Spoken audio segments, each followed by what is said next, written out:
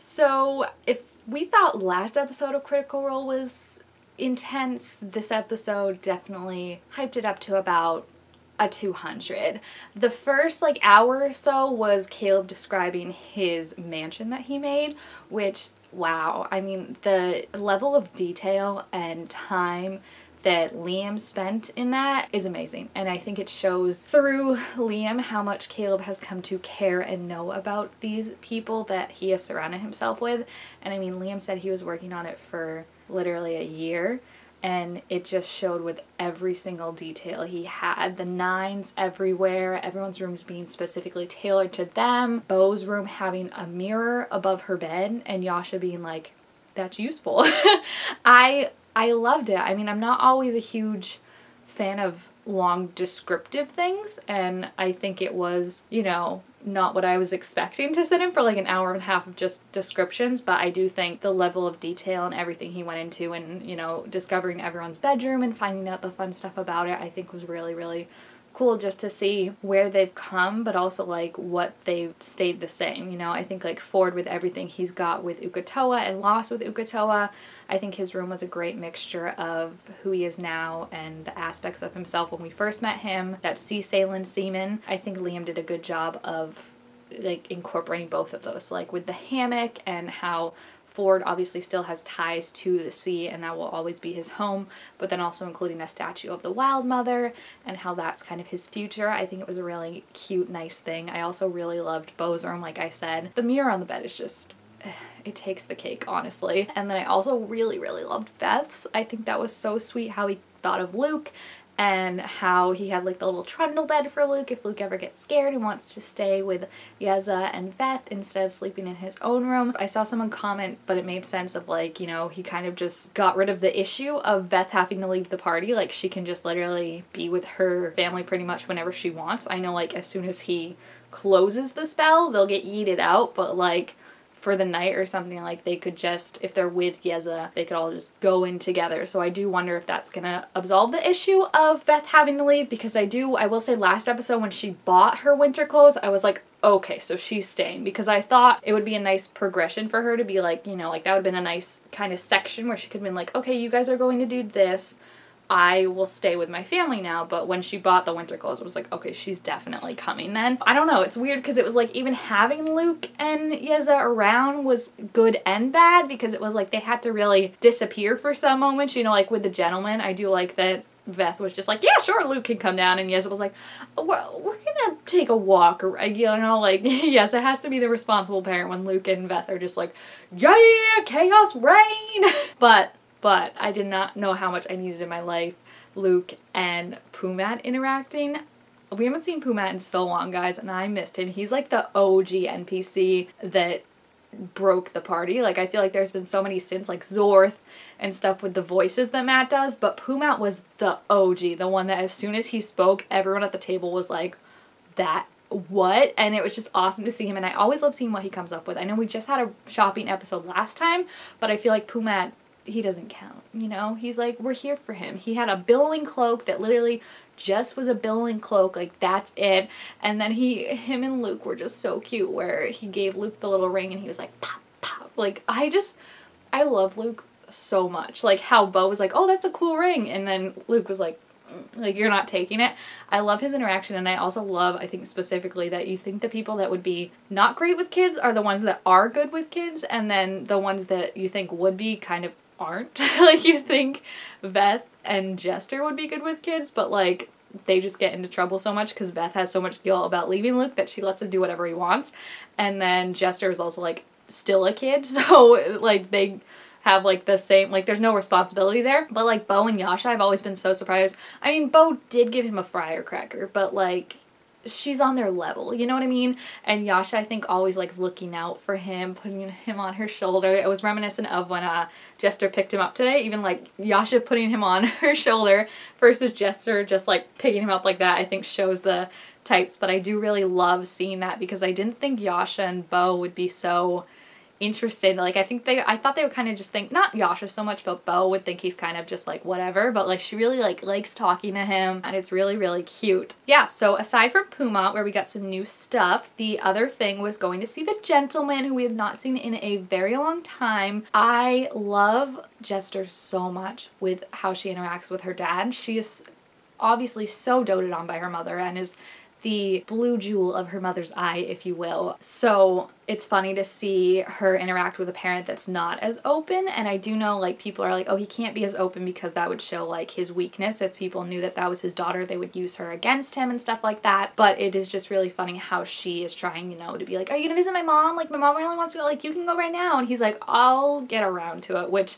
I don't know how to take it. He definitely doesn't seem interested in me and the mom. I don't know if that's just simply because like it's over. Like they just had a one done and it was fun, you know?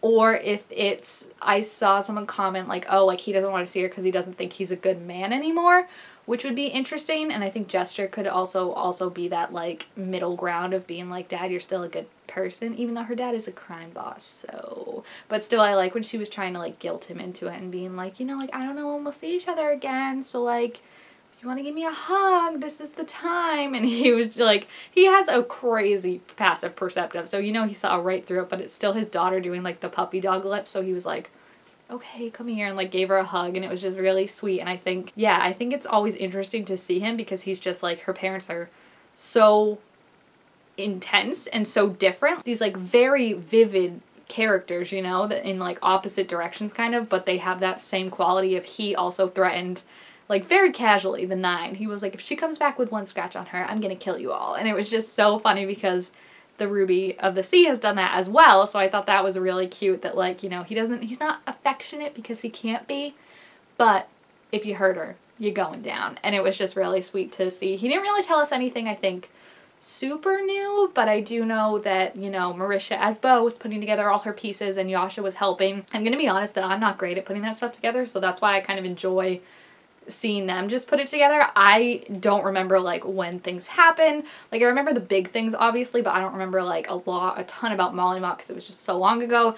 And I don't remember a ton about like, you know, like random NPCs. I'm not keeping notes. So I'm always super impressed when they can come up with that. And I love watching them try and piece it together. And I was not expecting it to go the way it did. I think we all weren't.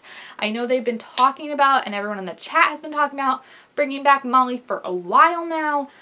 I didn't think it was going to happen like this. I am honestly so surprised. I will say that obviously I don't think it is necessarily Mollymauk, and that's why I think they're going to get away with Taliesin can still play Caduceus and then Matt will take over because I don't think he will be Mollymauk. I think he'll have a different name or something like that. And I know there's been theories that he'll be like the big bad, but I don't know because it technically seems like from what they've pieced together, Lucien and Cree and like their little cult were running from Vess DeRogna and whatever she had them take for her, like they didn't want to give it to her. So it seems like, I don't know. I know he has like no memories when he like comes to and is like the new life or whatever. So it'll be very interesting to see, yeah, just if like Taliesin plays him, if Matt plays him. I'm leaning towards Matt playing him and him having like a different name and different memory and different accent and all that. But I do think it's going to be very, very interesting to see, you know, like we have this person, but they don't have memory, so they really can't help us. And then Cree is still just like out there doing something and not helping us either.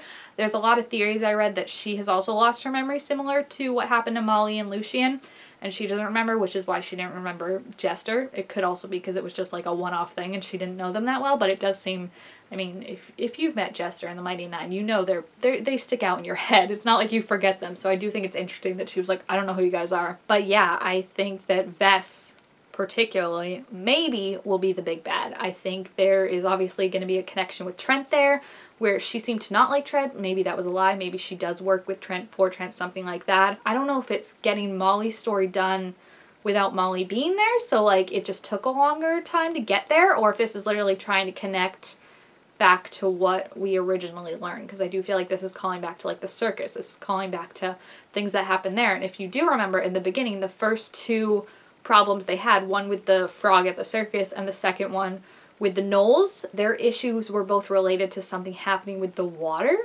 And that hasn't come up in a long time, but I do think that was a connection that I noticed right from the beginning that both the frog and the gnoll seem to have been affected by the water and it was making them behave in ways that they didn't normally behave. So that's why I'm like, are we actually starting to maybe get towards the end part of this campaign or is this just dragging out what Molly should have learned a while ago like we're doing his story now because you know he is a character and it does connect with everything. I don't know though. I don't know because it feels like all the Vess stuff is important and I don't think they would have had that still back when Molly was alive if he had lived on, you know? Like it feels like it does need to happen when you're a higher level like around now. They are only like level 13 and they got up to level 20 for Vox Machina, so it's probably still going to be a little bit, but I'm definitely really excited. And they're not, I don't know when they're back now either because they said they're taking off next week, but then I don't think they specifically were like, oh, we'll be back in a week. Like it just seemed like it's an unspecified amount of time and it's just like, of course you bring Molly back, Molly back, and then are like, yep, we're taking a break. And I'm just like, you can't do this. Like everyone at the end when they saw it was Molly and they were like, no, you can't do this. And Matt was like, I absolutely can. And Taliesin was like, I'm not saying I, oh, I mean, everyone knew that his body wasn't going to be there. I mean, that was no surprise. Like everyone had money on that. So when they were digging and there was no body, I was just like, this is one of those things though, like it needs to be turned into a TV show because just like the aspect of like digging and digging and not finding the body horrific. Like all of their faces were just like you could see the realization and kind of they already knew, but it was just the confirmation. Oh, what an intense episode. So if you've seen the episode, please feel free to leave your thoughts about it down in the comments. Also make sure this video a thumbs up if you enjoyed it. And I will see you guys next time. Long may he reign, indeed.